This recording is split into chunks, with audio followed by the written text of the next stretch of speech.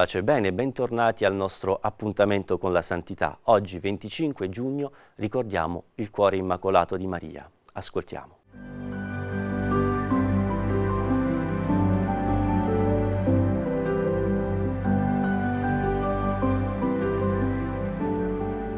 Il cuore immacolato della Beata Vergine Maria è una festa liturgica istituita da Papa Pio XII nel 1944 a perenne ricordo della consacrazione del mondo al cuore immacolato di Maria, da lui compiuta il 31 ottobre 1942, mentre il mondo era nel pieno della Seconda Guerra Mondiale.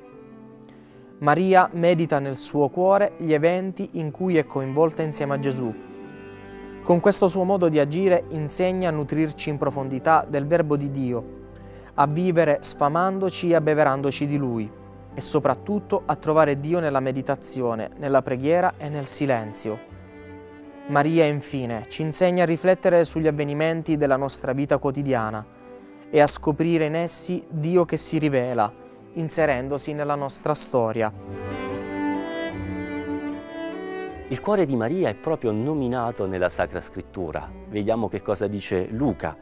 Andarono dunque senza indugio e trovarono Maria e Giuseppe e il bambino che giaceva nella mangiatoia. E dopo averlo visto, riferirono ciò che del bambino era stato detto loro. Tutti quelli che udirono si stupirono delle cose che i pastori dicevano.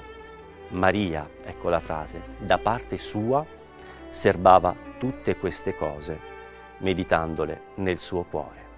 Ecco, la parola che è dietro, il verbo che è dietro l'azione di Maria è sumbagliusa, che dal greco vuol dire un po' mettere insieme.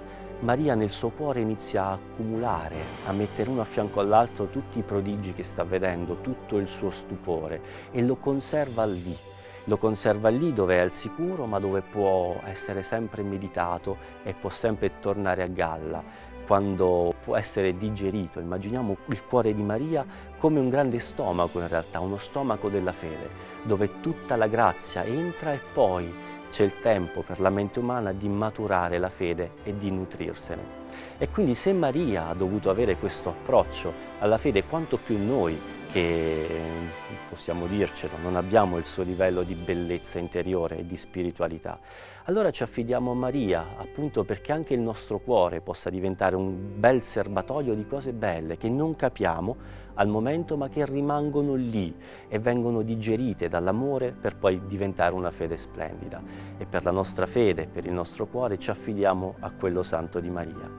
Beata Vergine Maria, prega per noi.